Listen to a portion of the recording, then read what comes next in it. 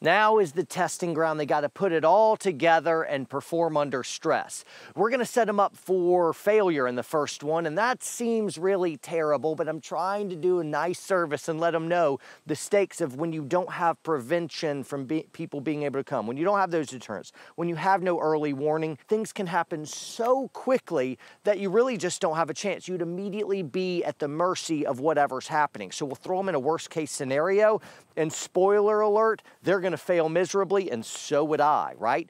Really, we're trying to build a case and say you really need to do these other things in home security because the answer isn't a gun. You should hold up a gun like someone with a hammer, and everything, once you have a hammer, looks like a nail, and we want to avoid that altogether.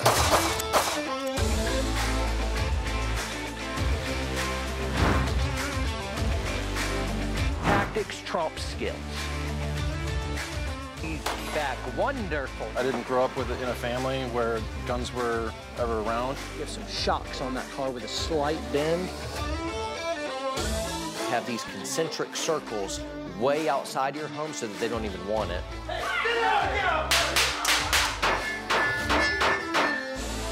Yeah, shooting's fun, man.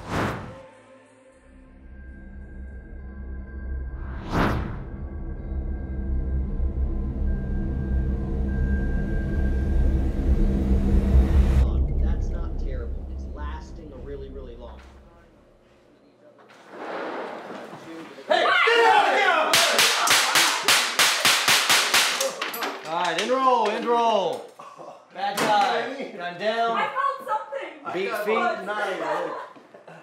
All right, guys, bring it over oh, here. Oh, felt like nine. All right, did you get shocked? They're wearing shock vests, mm-hmm. so did we get hit? Yeah. You turned sideways. You're like, no, sir. I don't want to play with this. Did it hurt? You good? Yeah, it hurt. All right. So this was an unwinnable scenario, unfortunately. It, you were always going to lose this scenario because, hey, we've got no locks on our doors. We've got no early warning. Our backs to everything. We got no shutters. And if somebody just comes in and wants to do this worst case kind of scenario, there's nothing you can do about that, right? Is this this pretty common thing for you guys, right? Sit on the sofa, Yep. do Yep. some cuddling. Yep. Really? Are you always cuddling like that? Usually. You just glorious. So so beautiful. We do have five kids. so beautiful. So very good. And you got guns under the cushions or anything? No. No, that's not realistic. So we got to count on our technology, our barriers to entry, so we have a chance. If you don't have other stuff, concentric circle kind of stuff, you're always going to lose this stuff. Just easy to kill, right? Guns can become kind of like a false sense of security when they're not immediately available to employ. We have that sense of security and we feel like it's this magic charm that keeps bad guys away by nature that it's somewhere buried in a sock drawer, then that's not true. We got to be able to have them out and ready to go, right? I've always wondered where like the location of our gun should be. It's in a closet right now. I would like us to be able to think in terms of zone when it comes to reacting to sudden violent encounters. So for instance, out in your you know shed, your studio out there where you're meeting clients, you need a panic button. So part of your alarm system, I like panic buttons. So one zone for our house is the kitchen. My wife is frequently in and out of there. Ever, all of us are, wife, kids, you know, whatever. And if somebody came in the middle of the day, the chances of her being around that area, open floor planish stuff, is high. So we have in our kitchen, uh, just like kind of a cabinet. We're able to get in that cabinet in a, a pinch. She runs in and she hits a panic button and grabs the gun. It's all one motion. And sometimes when I'm about to go on the road, we'll do a little micro plan. So uh, we're not like donning ghillie suits and sniper rifles and doing lots of training. What we did is years ago we invested in doing little micro plans. Middle of the day and you hear the door open and the chime opens, but you know the kids are upstairs in quiet playtime. Take action you know, and, and she'll go through what she might do. Or maybe it's another scenario. The door's locked and she hears a big kick and the door has been kicked open. And I'll expect her to run from like the living room into the kitchen and she hits the panic button, grabs the gun, and she goes to counter ambush spot number one and waits so that they come into their counter ambush spot and she sees them before they see her. And she needs to acquire identify engage lest she shoots some neighborhood kid who did, you know, you still gotta take good precaution, but she needs to be able to have a quick plan for every zone of the house. What's your plan for if you're in the bedroom? What's your plan for? So in you get to kind of set your house up however you want.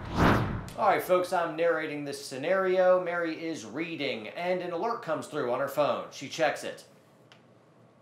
Motion camera. Creepy looking dude moving toward your front door. Panic button.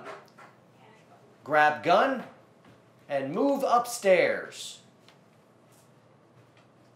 Let's go, let's go, let's go, let's go, let's go, let's go. Ignore the narrator. Here we go. All right, at this point, you hear someone push through the front door, and you take your counter ambush spot one and hold. Finger off the trigger.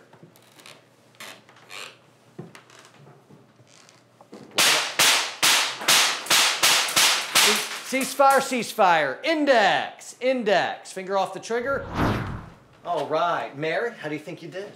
Um, I think I got him. Yeah, I think you did too. Very good. What do you think of our whole plan here? Um, I think it's a great plan. I've wondered what to do um, if, in the situation that I was home by myself and how to protect my kids and where I should go and what I should do with them. And um, it's a spot I never would have thought of. A lot of times, especially my wife, she wants to mama bird those kids, which means she, wherever the kids are, I can tell my wife to go anywhere I want. She's going to run toward the kids. So to be able to allow you to do that and get in a place where that you can ambush, looking straight down over them, that's really, really good tactics. All we need is early warning. Now the actual fight went pretty well. You didn't go off too early. You waited till he's fully on the X, and then you just lit him up. Did you look through your sights when you shot? Oh.